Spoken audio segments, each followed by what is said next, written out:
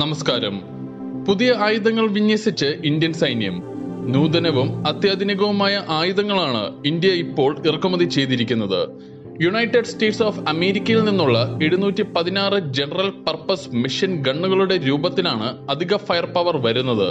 Indian സൈന്യത്തിലെ special ഫോഴ്സുകൾക്കും പാരാ ട്രൂപ്പർമാർക്കും മറ്റ് കമാൻഡോകൾക്കും വേണ്ടിയാണ് ഈ പുതിയ ആയുധ വിന്യാസം ജമ്മു കശ്മീരിലെ സ്പെഷ്യൽ ഫോഴ്സുകൾക്കാവും പ്രത്യേക പരിഗണന ലഭിക്കുക.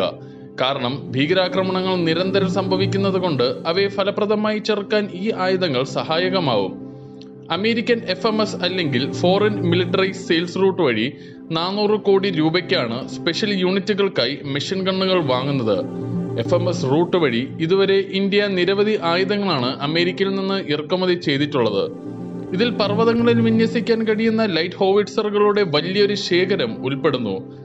ടെൻഡറുകളും പിന്നീട് നീണ്ട നടപടിക്രമങ്ങളും ഇല്ലാതെ ആയുധങ്ങൾ സർക്കാരിൽ നിന്ന് സർക്കാരിലേക്ക് നേരിട്ട് കൈമാറുന്ന നടപടിയാണ് എഫ് എം എസ് പ്രദാനം ചെയ്യുന്നത്. ആയുധങ്ങൾക്ക് നല്ല വിലയുണ്ടാകുമെങ്കിലും അവ വളരെ വേഗം എത്തിച്ചേരും. പുതിയ ആയുധങ്ങൾ വാങ്ങുന്നതിന് നാനൂറ് കോടി രൂപയോളം വില വരുന്നതും ഇങ്ങനെ കൂട്ടി വായിക്കാം. പുതിയ മെഷീൻ ഗണ്ണുകൾ വാങ്ങാൻ ധാരണ ഉറപ്പായെങ്കിലും ഇറക്കുമതി പ്രാവർത്തികമാകാൻ ഇനിയും ചില ഔദ്യോഗിക നടപടികൾ ബാക്കിയാണ്.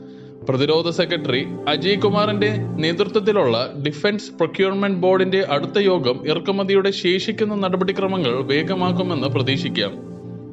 പ്രതിരോധ മന്ത്രി രാജ്നാഥ് സിംഗിന്റെ നേതൃത്വത്തിലുള്ള അപെക്സ് ഡിഫൻസ് ആക്വിസിഷൻ കൗൺസിലിന്റെ യോഗത്തിൽ ആയുധം വാങ്ങലിന് പൂർണ അനുമതി ലഭിച്ചേക്കും. ഒരേ സമയം ചൈനയുമായും പാകിസ്ഥാനുമായുമുള്ള അതിർത്തികളിൽ ഇന്ത്യ ഭീഷണികൾ നേരിടുന്നു.